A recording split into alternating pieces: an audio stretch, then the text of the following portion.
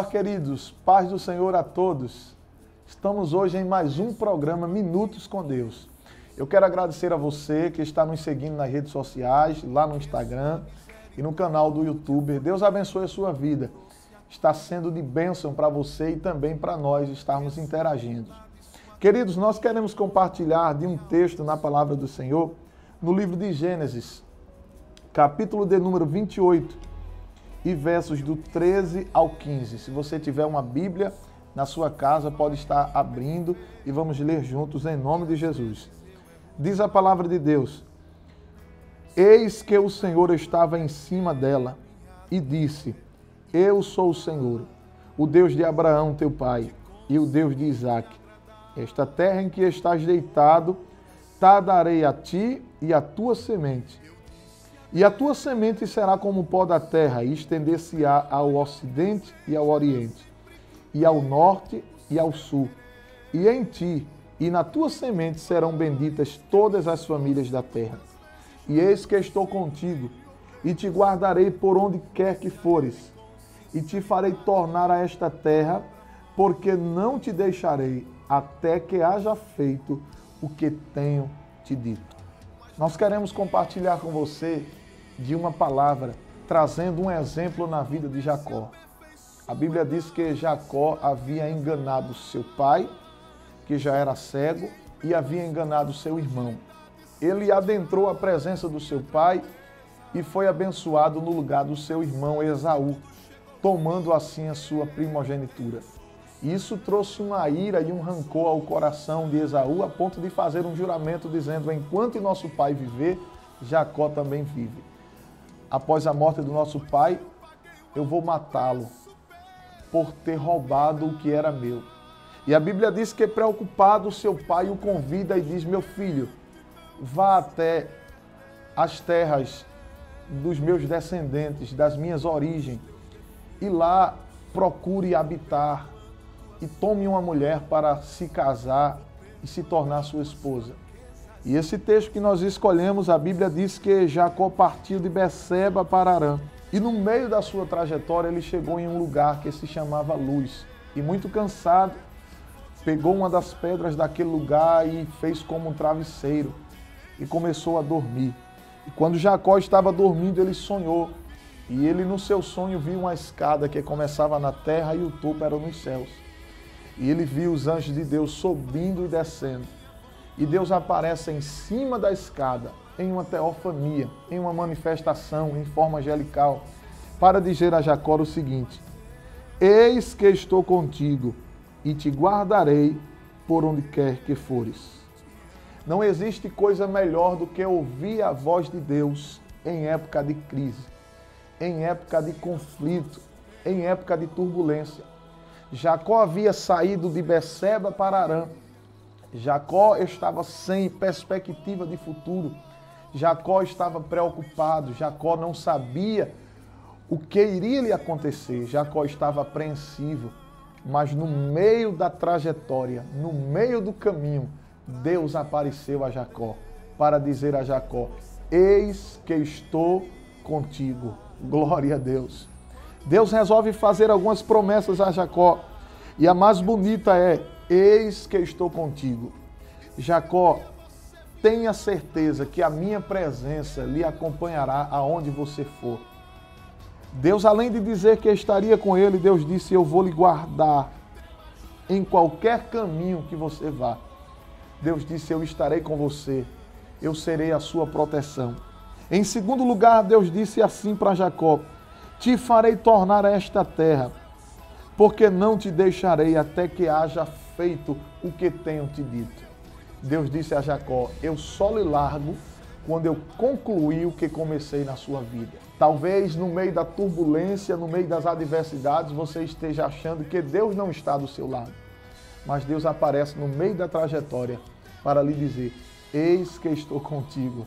Assim como ele apareceu lá para Gideão, e Gideão estava malhando trigo no lagar para fugir dos midianitas e a Bíblia diz que Deus apareceu debaixo do carvalho que estava em Ofra e disse para Gideão: Varão valoroso, o Senhor é contigo. Deus está falando com você nesta hora. E ele está lhe dizendo, apesar das adversidades, apesar dos conflitos interiores, das preocupações, das perturbações, das adversidades, mas eu ainda estou contigo. Talvez você diga, mas Deus está do meu lado e eu passando por tudo isso, foi o que Gideão respondeu ao Senhor. Mas a prova que Deus está contigo é porque você está sobrevivendo, é porque você está de pé. Se Deus não estivesse do seu lado, você não estaria vivo, você não estaria viva, você não estaria respirando. Mas se Deus é contigo, Ele lhe protege, Ele lhe defende e Ele só lhe larga no dia em que Ele concluir tudo que começou na sua vida.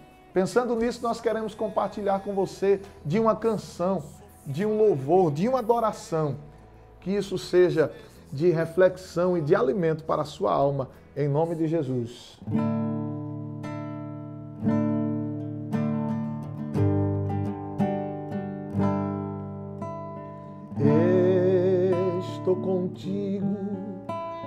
Meu filho. Nunca te deixo sozinho. Sou o Deus que é dos filhos, sempre velo muito bem e de ti não esqueço também.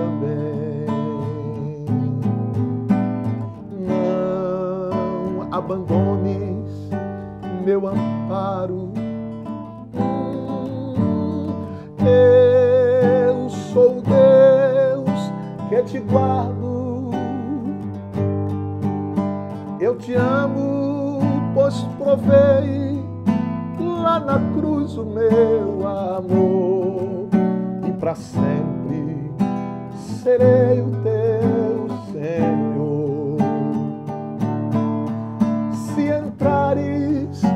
Na batalha, eu contigo lutarei. Se pisares nos espinhos, eu contigo pisarei. Não te deixo, meu filho, seja onde quer que andar, e ao teu lado para te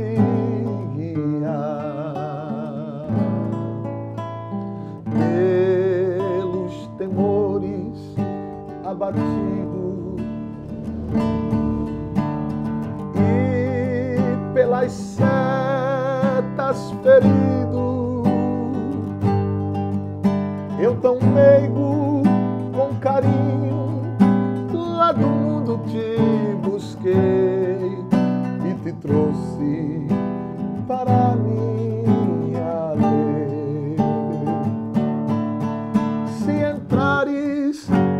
batalha, eu contigo lutarei. Se pisares nos espinhos, eu contigo pisarei. Não te deixo, meu filho, seja onde quer que andar, e ao teu lado para te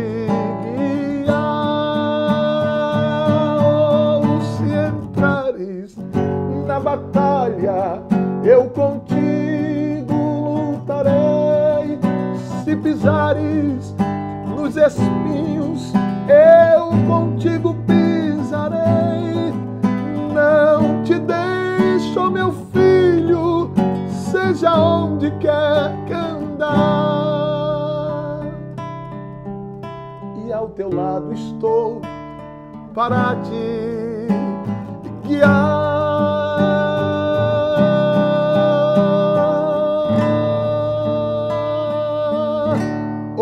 Aleluia, glória a Deus. Deus está contigo. Levante a sua cabeça, se tranquilize, porque Deus está contigo. Muito obrigado a todos. Deus abençoe sua vida e até o próximo programa Minutos com Deus. Forte abraço a todos e você que não está nos seguindo, tem a oportunidade ainda de seguir lá no Instagram, Cantor Josafá Souza Oficial, e lá no YouTube, Cantor Josafá Souza Oficial. Forte abraço a todos e até o próximo programa. Eu disse adeus, sou perfeito e às vezes